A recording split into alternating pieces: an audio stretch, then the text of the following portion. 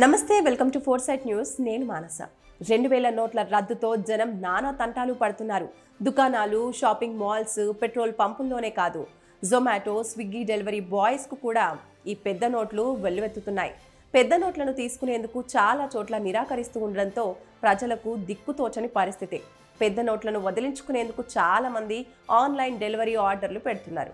అయితే ఈ గందరగోళ పరిస్థితిని ఓ బిజినెస్ మ్యాన్ తనకు అనుకూలంగా మార్చుకున్నాడు. ఈయన ప్రకటించిన ఆఫర్ చూసి జనం క్యూ కడుతూ ఉండగా సోషల్ మీడియాలోనూ వైరల్ అవుతోంది.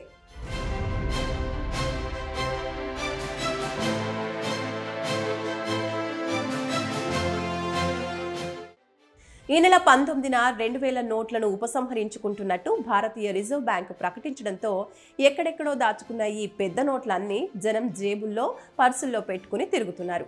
కూరగాయలు కొనటం దగ్గర నుంచి ప్రతి చోట రెండు వేల నోట్లు మార్చుకునేందుకు ప్రయత్నిస్తున్నారు. ప్రతి ఒక్కరూ రెండు వేల నోట్లను మార్చుకునేందుకు ప్రయత్నిస్తూ ఉండడంతో తంటాలు మొదలయ్యాయి.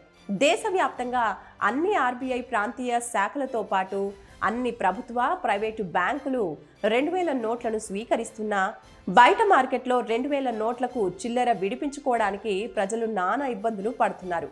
కొన్ని చోట్ల షాపుల్లో రెండు వేల నోట్లను తీసుకోవటం లేదు. అలాగే మాల్స్ పెట్రోల్ బంకుల్లో కూడా ఇదే పరిస్థితి నెలకొంది.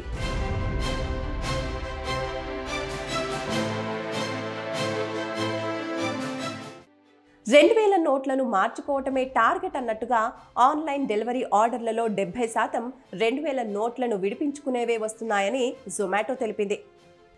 ఈ గందరగోళ పరిస్థితిని ఓ ఢిల్లీ బిజినెస్ మ్యాన్ తనకు అనుకూలంగా మార్చుకున్నాడు. ఢిల్లీలోని జీటీబీ నగర్కు చెందిన ఓ బిజినెస్ మ్యాన్ రెండు వేల నోటుకు సంబంధించి బంపర్ ఆఫర్ను ప్రకటించారు.